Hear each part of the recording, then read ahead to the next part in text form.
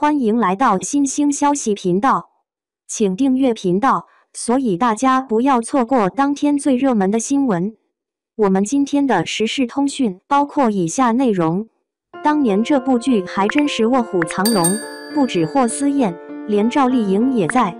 都说人红是非多，作为当今的流量女王，八五后小花的代表，赵丽颖这些年的热度一直未曾下降。这也给他带来了不小的麻烦，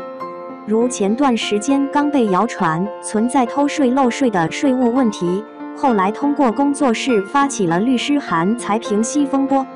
而近日又因为网传将与此前一同合作出演《楚乔传》的知名男演员林更新再度合作出演古偶剧《与凤行》，而再次遭来非议与粉丝们的强烈反对，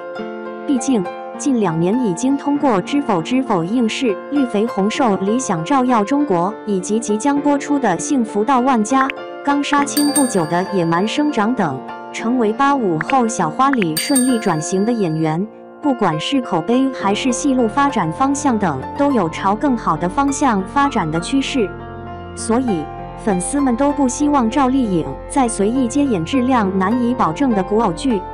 虽说目前只是网络上的谣传，但因为赵丽颖及其工作室未出面否认，使得粉丝们极为激动，甚至因为大骂工作室，一度登上了热搜榜。但也足以看出，如今赵丽颖所拥有的粉丝群体多么庞大，以及热度、关注度是多么的高。还有不少网友注意到。似乎自从赵丽颖与冯绍峰自去年正式官宣离婚后，大家也会有意无意地将俩人的演艺事业发展进行比较。如最近冯绍峰凭借历史正剧《山河月明》的热播，又拥有了极高的热度与话题度后，许多人都开始纷纷拿赵丽颖主演的《幸福到万家》与其对标。虽说赵丽颖与冯绍峰算是好聚好散。并没有不少明星夫妻离婚后闹得网络上腥风血雨、撕逼不断，但还是因为赵丽颖如今的咖位与热度远比冯绍峰厉害许多，使得二人还是时常被一起提及。当然，对于了解十多年前赵丽颖与冯绍峰的咖位差距的网友们，看到如今赵丽颖远超冯绍峰的状态，都会唏嘘不已。可能很多年轻的网友都以为赵丽颖与冯绍峰是因为一同合作《西游记女儿国》才相识相恋，又通过《知否知否》应试绿肥红瘦而步入婚姻的殿堂。殊不知，早在2008年左右，俩人就已经一起出演了电视剧《夫妻一场》，只是那时候赵丽颖还只是出演一个仅有几个镜头的小配角，主演则是霍思燕与冯绍峰。相信当年看过这部电视剧的网友们一定会惊奇地发现，对于女主角霍思燕，我们都认出来了，却没能认出赵丽颖。如今回过头来看这部剧，谁能不感叹当年这部电视机真是卧虎藏龙？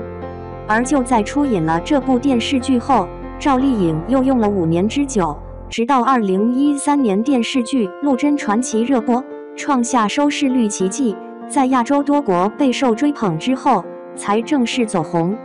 此后又陆续出演了《追鱼传奇》《宫锁沉香妻子的秘密》《花千骨》《青云志》《乘风破浪》等热门影视剧后，不仅成为当红女明星，还拿下了中国电视好演员女演员奖、金鹰奖观众喜爱的女演员奖等演技类大奖。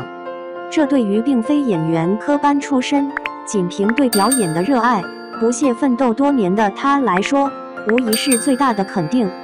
相比于近几年热度、人气下滑比较严重，又因为不时与异性传出绯闻的冯绍峰、赵丽颖，如今的发展趋势自然是远胜于他的。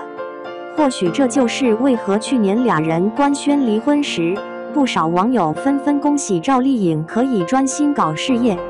谁能想到，一十四年的时间。彼此在演艺圈的地位就会发生如此大的变化呢？当然，这也只是外界对他们的议论。哪怕这段婚姻仅是从2018年维持到2021年，短短三年而已，但有了儿子想想的存在，需要一起抚养孩子，所以他们应该会在各自发展各自的演艺事业的同时，保持和平往来吧。